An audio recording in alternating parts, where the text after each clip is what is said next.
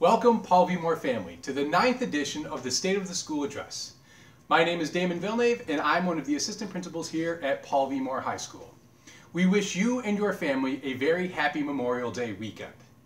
We also hope that this video finds you and your family safe and healthy. These videos are made to provide you with the most up-to-date information. Memorial Day, Monday, May 25th, which is Memorial Day, will be a vacation day because it is a national holiday. Since Mondays are A days on our virtual schedule, we will not have an A day next week, and teachers will post their agendas on Tuesday. Grading. Please continue to check School Tool for your grades. We are near the middle of the fourth marking period.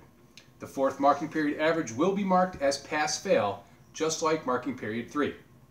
Students' overall average will be designated by a pass-fail as well.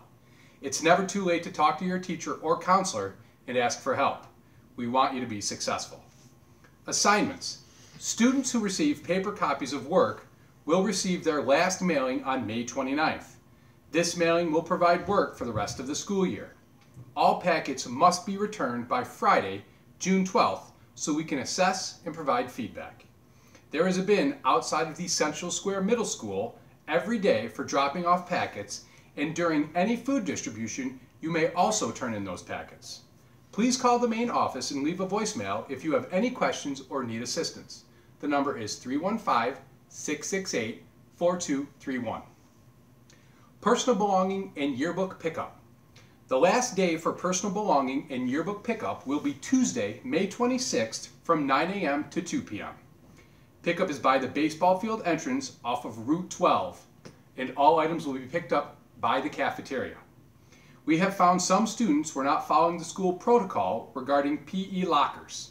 Some were sharing lockers or using an unidentified locker, and as such, we are unable to identify several student belongings to a specific individual. While we understand this is frustrating, we are faced with a difficult decision. However, to reduce exposure in multiple people handling the items, we will be holding these items until we return to school. Once we return, the items will be made available for viewing and students and parents can identify and pick up those items. If you have a concern, please email Kristen Enright at knright at cssd.org. Awards. We continue to look forward to our traditional spring awards. We are creating a junior awards video that will be released in June highlighting a junior who has been recognized for outstanding achievement in each subject area. We are also creating a scholarship award video that will include the Music Department Scholarship Awards to be released in June as well.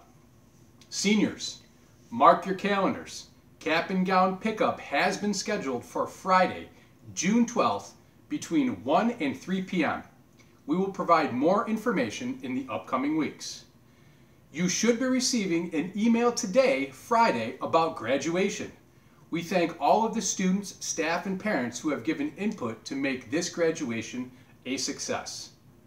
Please note, as the weather continues to improve, we need to make sure we remain vigilant in helping one another by continuing to practice good hygiene, social distancing, and wearing a mask anytime we are in public.